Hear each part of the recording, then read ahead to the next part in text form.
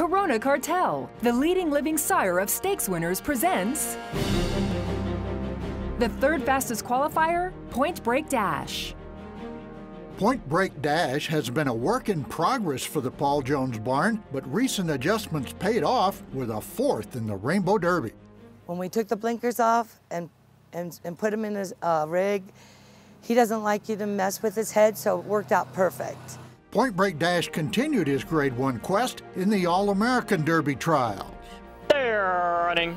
Slight stumble from Elisa's Secret. Vancouver Moon came away fast, but just drifting for the outside fence and almost scrapes up against it. Vancouver Moon far side. Elisa's Secret straightens out. Then it's Point Break Dash. Back along the inside. Take me down and feature Mr. Perfect. Vancouver Moon, but very wide out. And here they come. Elisa's Secret. Point Break Dash goes on by. Point Break Point Break Dash prevailed under jockey Cody Jensen and led three others into the finals.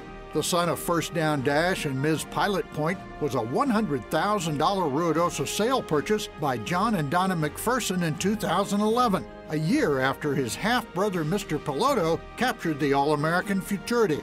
Point Break Dash will try to become the third All American Derby winner for the Jones Sawmill team. That is, after a few more tweaks. When he gets in the gates, he wants to go.